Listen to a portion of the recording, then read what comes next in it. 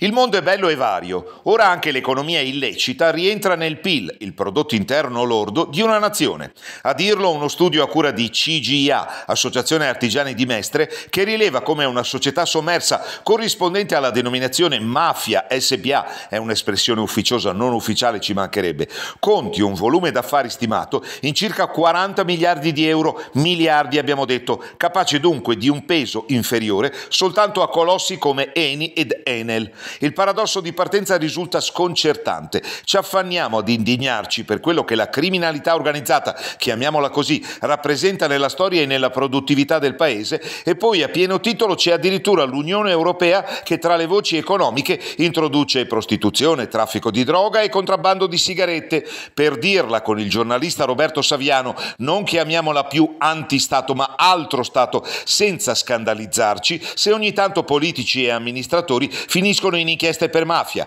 La cosiddetta economia reale è anche questa, quasi 17 miliardi e mezzo di euro, circa un punto di PIL, a gonfiare pure la ricchezza tricolore, storicamente nata al sud la piovra, come si definiva pittorescamente ma efficacemente negli anni 70 e 80 del Novecento, ha indossato i classici colletti bianchi e si è insinuata nella pubblica amministrazione e nell'imprenditoria anche di centro e nord Italia, emblematici i recenti casi veneziani e veronesi, dove la contingenza quotidiana è diventata diventata insostenibile e i flussi di denaro riciclato hanno costituito benzina ideale per motori potenti ma a corto di carburante. I numeri, per ulteriore paradosso, non sono neppure quelli stimati ufficialmente perché il sommerso del sommerso del giro di affari criminoso porterebbe con assoluta probabilità a cifre ulteriormente spaventose. Lo studio di CGIA, consultabile online, riporta tabelle statistiche molto interessanti che al di là del valore economico-sociale dicono una cosa estremamente chiara. Qualunque territorio, tanto più se caratterizzato da numeri importanti di denunce per estorsione, racket, usura, lavoro nero, scommesse clandestine, gestione illecita del ciclo di rifiuti, non può sottrarsi a una minaccia reale, tangibile e ormai contingente.